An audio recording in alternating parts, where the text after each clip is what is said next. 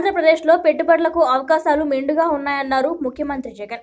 అవినీతి రహిత పాలనకు అధిక ప్రాధాన్యతనిస్తున్నామన్నారు విదేశాంగ శాఖ సహకారంతో విదేశీ రాయబారులతో అమరావతిలో నిర్వహించిన పరస్పర అవగాహన సదస్సులో ఆయన పాల్గొన్నారు.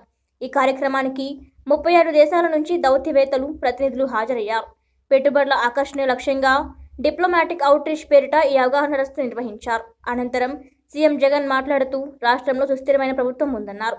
రాష్ట్రంలో పెట్టుబడులు పెట్టాలని ఆహ్వానం పలుకుతున్నట్లు తెలిపారు హైదరాబాద్ బెంగళూరు చెన్నై వంటి మెట్రో సిటీలు లేకపోవడం ఏపీకి ఇబ్బందికరమే అయినప్పటికీ ఇక్కడ తీర ప్రాంతం అతిపెద్ద వనరుగా ఆయన అభివర్ణించారు One very important thing what attracts investment is how stable the government is. And I can take pride in telling you that an overwhelming mandate was given to us. We have, out of 175 uh, MLAs, constituencies, we've scored 86% of the seats, 151 plus seats.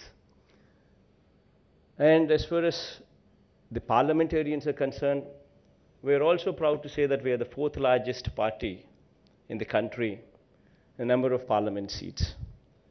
And we're also proud to say that we share a phenomenal good relationships with the central government and as well as the neighboring Telugu state of Telangana as well.